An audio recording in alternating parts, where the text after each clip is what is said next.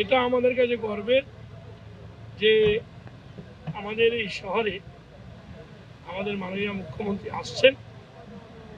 বাকি সমস্তটাই day to day যেরকম ডেভেলপমেন্ট ডেভেলপ তারিখে আসার কথা? সাতাশ তারিখ আসার কথা।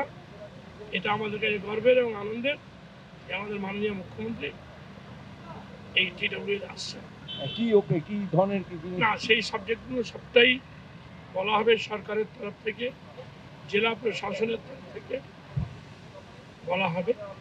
আমি শুধু এইটুকু বলতে পারি যে আমাদের কাছে গর্বের যে আমাদের মাননীয় মুখ্যমন্ত্রী মানে এটি নতুন কিছু প্রজেক্ট কারখানা? এটা বলবে জেলা প্রশাসন বলবে।